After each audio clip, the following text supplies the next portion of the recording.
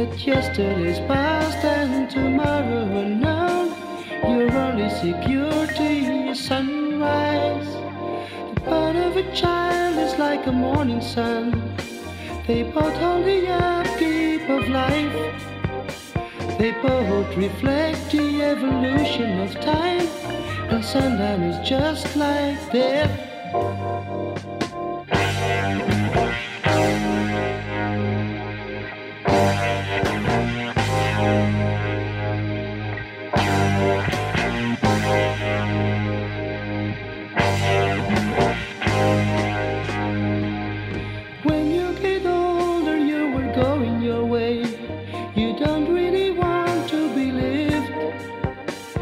It's hard to be yourself considering other people to know your mistakes when you do wrong.